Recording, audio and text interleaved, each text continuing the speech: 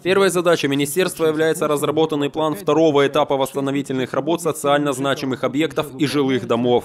В первую очередь работы ведутся на восстановление объектов сферы образования. Сегодня планируем в первую очередь объекты, связанные с образованием, то, что нам необходимо запустить до 1 сентября. Вот. Поэтому у нас выделен такой первый этап. Это объекты, которые мы планируем пустить до 1 сентября, потом объекты, которые мы планируем пустить до 1 октября, ну и так далее. То есть на сегодняшний день в работе у нас находится 129 объектов из 503. На сегодняшний день в работе 34 подрядные организации.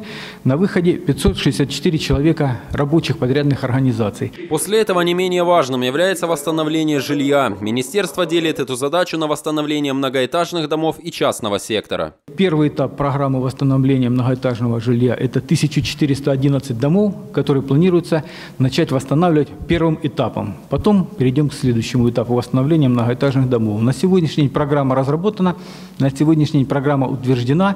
Буквально в конце этого месяца ожидаем большую поставку материалов именно под восстановление многоэтажных жилых домов.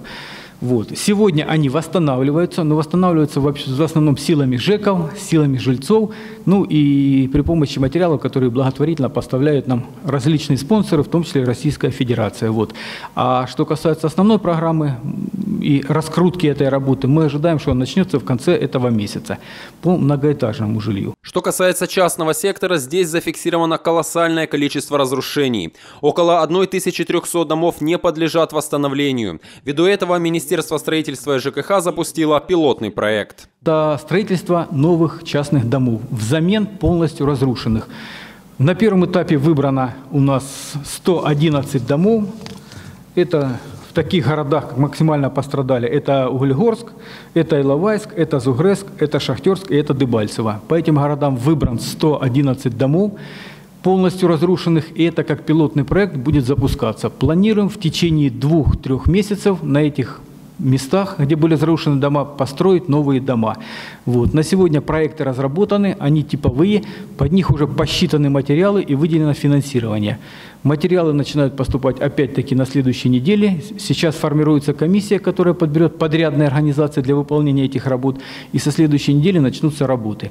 Где-то к концу ноября мы планируем первые 111 домов сдать. Как только дома будут сданы, будет следующий этап восстановления и будут следующая партия домов, которая будет строиться. Ремонтные работы частного сектора будут задействоваться через городские администрации, которые будут распределять материалы по адресам домов, имеющих различной степени разрушения. На эти работы на сегодняшний день не планируется подрядная организация. Выполняться работы будут силами жильцов, силами волонтеров, ну и различных благотворительных организаций. Также проработаны несколько программ по подготовке к зиме. Ну, как мы знаем, что сейчас, к сожалению, платежеспособность жителей невысокая, и поэтому платежи в бюджет довольно небольшие за, за полученные услуги.